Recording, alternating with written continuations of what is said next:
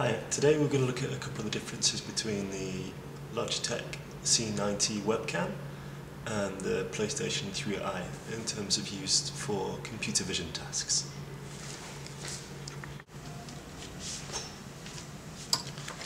Okay, so um, we've got the PlayStation Eye here on the left and the um, uh, Logitech C910 here on the right. And that's reporting 60 frames a second. This PlayStation Eye is reporting 30 though we think this one only supports 30 anyway.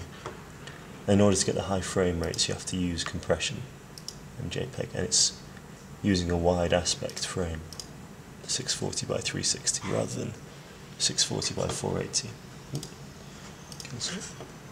Cancel. Okay now, the latency seems quite similar between the two, but the CLI seems a little bit jitterier, but it might also be because it's got quite a lot of contrast. And the MJPEG compression can really be seen in the image. You can see um, you can see lots of artifacts, whereas the PlayStation Eye image is quite smooth you can see the noise in the PlayStation Eye image, um, the gain noise, but you can't really figure it out here because there's so much uh, artifacting. Uh, the other thing is, of course, there's the wide aspect. So and you can see that the the edge of the image on the PlayStation Eye is around here to here. I need to readjust that. Okay, so but hopefully, yeah, you can see that the um, the Logitech's got a much wider field of view in terms of height. The PlayStation Eye's got a larger field of view, so that's due to the wide aspect. So that's it for motion tests. Uh, you can probably see as well the colour in the Logitech looks a lot nicer than the colour in the PlayStation Eye that's not really usually um, of interest. And uh, if I just move this light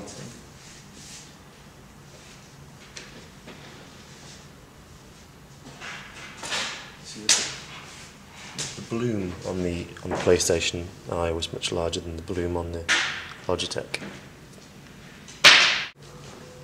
Okay, now onto stills tests. You can see that there's a lot of tearing on the image. This is the highest resolution, which I think is 2592. Um, highest resolution is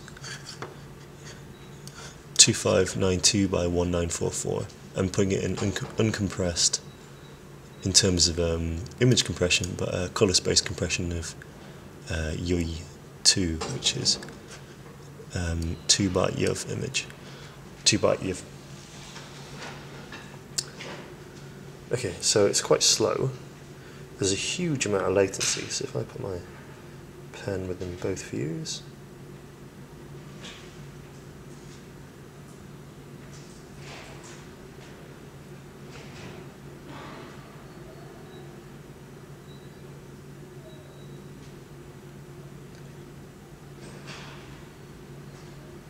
It doesn't seem to have more than one frame latency, but it seems to bring up a frame about once every less than a second. That's still quite useful. Um, you can see the focus here as it comes up on this part. I've got it set to currently the furthest focus, which I estimate is about 70 centimeters. The closer focus options go all the way up to uh, three and a half centimeters. Video capture filter. So you've got programmatic control over the focus, which is quite nice. Zero is furthest, but the first few values don't seem to do anything. Then it starts to come into effect. So you can see it changing the image there. So if I put my pen really close up to the camera, there's three and a half centimeter distance you can see you can get a really, really close focus.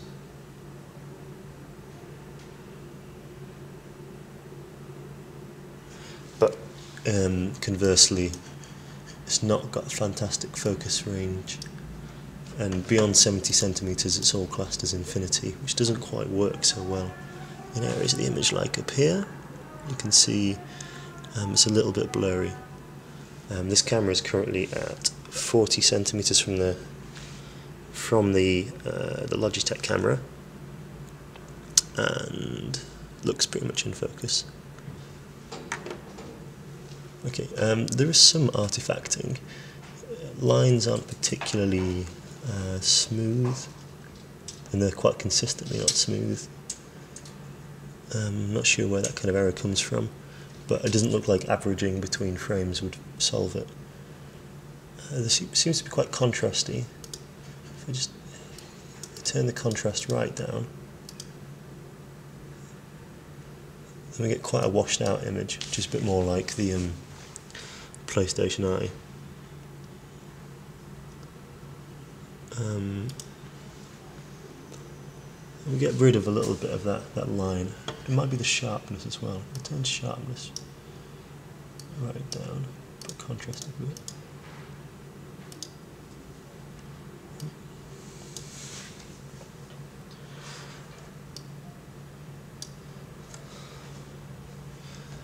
I think around 20 is good value for contrast. Okay, yeah, so with the sharpness filter turned off, you can see that this camera starts to become a bit blurry. If we bring back focus, to bring the camera into focus, I think it should be around, um, that's infinity, it's around here somewhere.